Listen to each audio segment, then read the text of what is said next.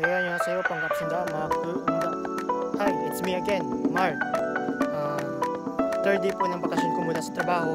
And ngayon, nandito po ako sa isa sa pinagsushootingan ng Hayaan na tayo robot, ang Bear Tree Park. Tara, sama kayo sa galang ko.